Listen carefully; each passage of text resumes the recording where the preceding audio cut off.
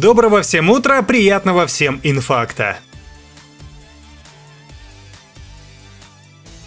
Состоялся неожиданный анонс новой видеоигры по мотивам свинки Пеппы. В My Friend Peppa Pig игроков ждет обширная кастомизация персонажей, культовые локации, известные по мультсериалу, включая дом, пляж, снежную гору и картофельный город, а также уникальная история, расширяющая лор вселенной. К проекту также привлечены и оригинальные актеры озвучивания. За разработку ответственна студия, которая подарила нам такие нетленки, как игровые адаптации героев в масках, Щенячьего патруля и Братс. Долгожданный хит выйдет на всех актуальных платформах, а релиз намечен на 22 октября. Состоялся другой неожиданный анонс, на этот раз триквела классической глобальной стратегии «Виктория». С релиза последней части прошло почти 11 лет, да и в целом контурные карты на дорогах не валяются, разве что пятиклассники ушли в отрыв. Ключевыми особенностями «Виктория 3» станут политические сделки, которые придется заключать, чтобы обуздать борьбу интересов в своем правительстве, многоуровневая дипломатия, сложная экономическая система, но я вот, к слову, в контурках не шарю, и мне прикольно от того, что большое количество фабрик будет затемнять карту, например, Всем фичам фича я считаю. Самый полный список особенностей смотрите у нас на сайте.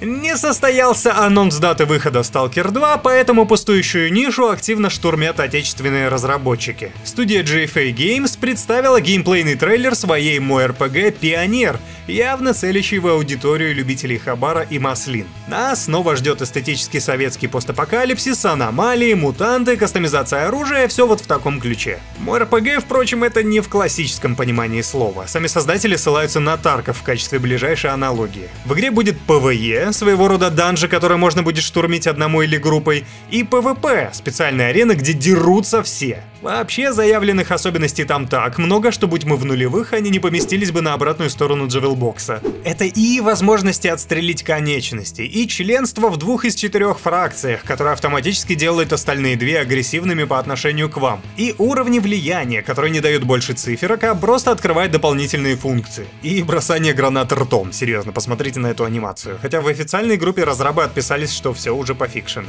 А еще время суток, которое влияет на поведение NPC. Днем больше мутантов и бандитов, ночером всего один леший, который запросто вышибет из вас все дерьмо. Самый полный список особенностей смотрите на нашем сайте. На релиз, ну, запланирован на четвертый квартал 21-го. По крайней мере в раннем доступе, хотя и перенос со счетов списывать не приходится. Проклятие сталкероподобных игр, знаете ли, в Blizzard прохудились трубы, об этом говорит утечка кадров, которая продолжилась на этой неделе. Недавно из компании утек руководитель разработки Джефф Каплан, что в основном расстроило поклонников творчества студии. А теперь ушел и ведущий художник по персонажам Рено Галан. Некоторые видят в этом плачевную закономерность, потому что с момента анонса Overwatch 2 в компании освободилось сразу несколько ведущих позиций. Самый полный список покинувших Blizzard разработчиков смотрите у нас на сайте. Вообще нет, не смотрите, его там нет. Так что просто вставлю здесь. Хотя звоночки и тревожные, особенно с Капланом и Галаном, драматизировать ситуацию до тонущего корабля пока неуместно. В крупных компаниях люди примерно так уходят и приходят, да и Галан не указал причин, а лишь поблагодарил команду за чудесные годы. Так что давайте просто в очередной раз посравниваем модельки из разных частей Overwatch и поспекулируем в комментах. А вот оно вот к лучшему, что Рено ушел, или все-таки к худшему?